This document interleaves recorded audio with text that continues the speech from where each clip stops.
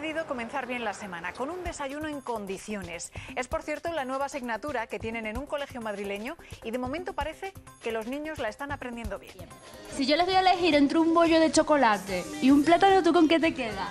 Con el plátano. Ah, muy bien. ¿Y eso me lo dices de verdad? ¿O porque está la maestra delante? Mm, porque te lo digo de verdad. Muy bien. Si no se adquiere un buen hábito cuando se es pequeño, es difícil luego de mayor cambiarlo. ¿Qué tenemos que inculcarles a los niños como ellos de 7 añitos? Que el desayuno es una de las comidas más importantes del día y a la que menos importancia le damos.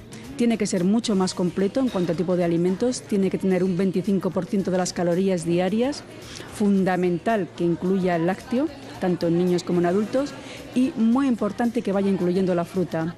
Lo ideal es tomarse cinco piezas de fruta al día. En España, desgraciadamente, hace años que ese ideal no lo cumplimos y cada vez vamos a peor con los niños. ¿Está rica o no? A ver. Sí. A ver. Mm. ¿El aceite es una grasa buena o mala? Buena. Mm. ¿Y para qué sirve?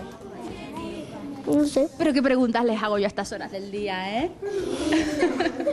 ¿Y esta asignatura les gusta? ¿La de aprender a comer bien? ¿La de aprender a desayunar bien? ¿Sí? Pues a mí lo que me gusta, pues la manzana y las fresas. El Ah, ya kiwi. veo, ¿eh? Oye, pero mira, has dejado mucho aquí. Joder, es que lo verde a mí no me gusta. Y ahora, después de desayunar fuerte, fuerte, fuerte y sano, sano, sano, ¿qué les apetece?